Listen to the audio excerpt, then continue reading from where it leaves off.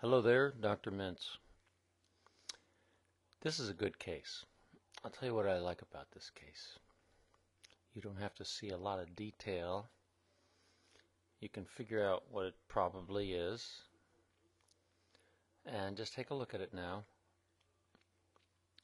I'm purposely showing it to you in a video like this, showing you it the rapid axial series.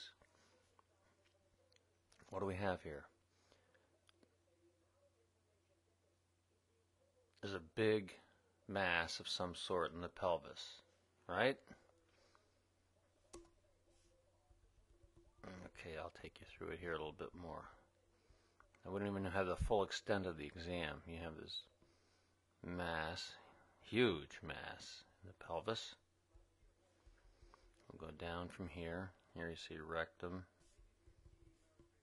iliopsoas muscle, iliacus muscle with psoas. Still in a huge amount of mass here.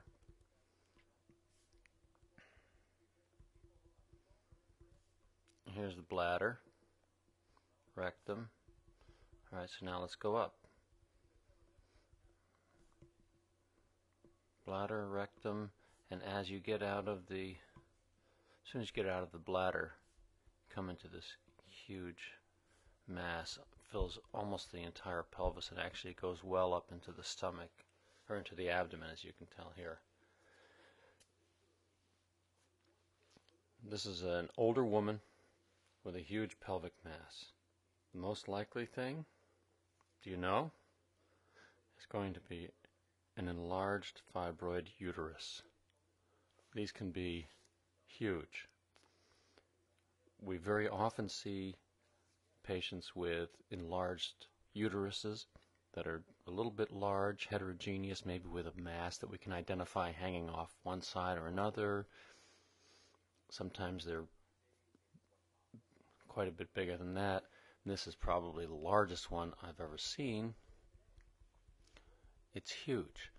My point here is that could it be something else? Yeah. Could it be a lymphoma? Unlikely. Could it be an ovarian tumor? Possibly. They're usually more complex and cystic.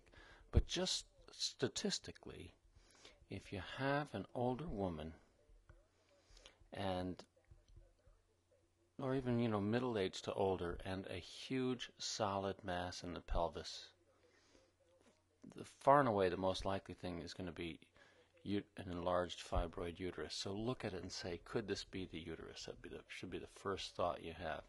And looking here you have bladder and this would be where the cervix would be around there and the rectum so then if you follow that up remember that the uterus normally folds over the top of the bladder. So if you go up and get out of the bladder and you see that the whole mass is just tilted forward, superior to the uterus, yes, you could look, or superior to the bladder, you could look at sagittal and coronals, which I don't have good ones of in this particular case. But this is the bottom line. It's it's lobular too, and it's somewhat heterogeneous. Lower attenuation here, more solid here. Uh, I haven't seen an ovarian cancer look like this. It's possible. But the bottom line is this is just the practical way to look at this.